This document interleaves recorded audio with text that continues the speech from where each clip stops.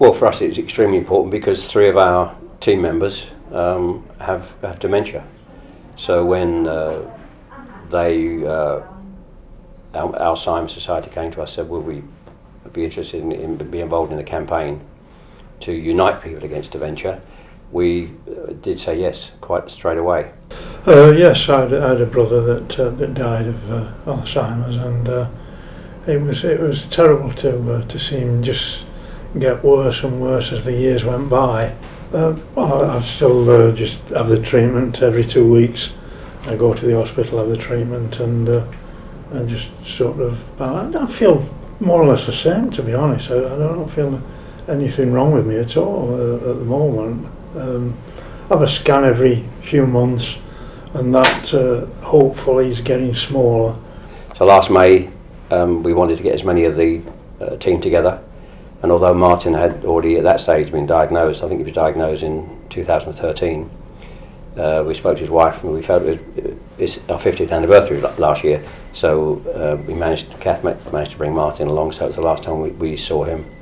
And by that stage, of course, he, he'd been deteriorating, um, so it was quite difficult to see one of your teammates um, close up. I'm personally as close, uh, not a family member, but Martin Peters, we go back and our wives since we were teenagers. So our wives still speak today, um, almost daily it seems. So I, I'm hearing via th- those conversations um, what it is like uh, for Kathy to be, you know, living with a husband who has this terrible disease. So um, and so that, that's motivated me to, to want to get involved in this campaign. I don't think it's something you, you think about. I, I, I look at our particular team and, and three have dementia and I, I always say it's for uh, older people it's almost like a lottery to an extent um, who, who will have an ailment, who will get a disease, who, who will fall ill. I think it's, it's not something I really think about uh, for, for myself, uh, to be honest with you. Just carry on living your life and hopefully that uh, you, you're okay. So I don't, I don't have any fears for that, but I do uh, have a great deal of sympathy for, with people who are living with people in the family that have dementia. But with dementia, you know that it's only going to go one way, and it's it's not going to get better. It's only going to deteriorate. That makes it a a, a major difference in many respects. And uh, it's quoting the people, it's a million. It's eight hundred fifty thousand now, a million in, in the next uh, number of years, and every three minutes somebody gets diagnosed. Same as Geoff says about about the, the 66 lads, you know, we had such wonderful moments with these these these lads, you know, that have got uh, dementia. Uh, all the time as we we had jokes with them and a laugh and a drink and and uh, just you know wonderful wonderful memories.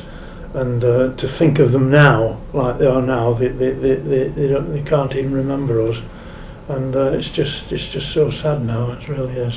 One of the important ingredients of winning the World Cup is the camaraderie, the team spirit, the togetherness, Yeah. which we had then, and that's why today's you know discussion makes it all, all the more difficult when you go back 50 odd years with with these uh, uh, colleagues. That togetherness and the dressing room banter.